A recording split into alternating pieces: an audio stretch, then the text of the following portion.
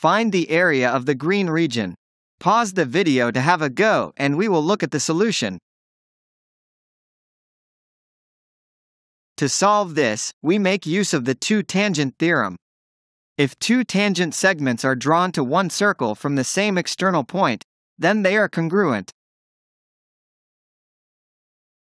If we look at the diagram again, point F is a point external to the quarter circle, where the two tangents AF and EF meet. Applying the theorem, AF is the same length as EF. EG and CG are both of length 6 units, by the same theorem. Now, the hypotenuse of the triangle, FG, is 9 plus 6 equals 15 units. We can easily work out the length of the other two sides in terms of radius r, Using the Pythagorean theorem and the quadratic formula, we can work out the radius as 18 units, as it cannot be negative.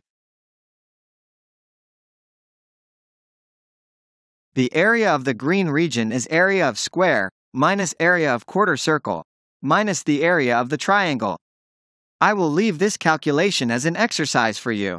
Comment below to tell us what answer you come up with. Hope you enjoyed this video. Please like, share and subscribe to get updates on my channel.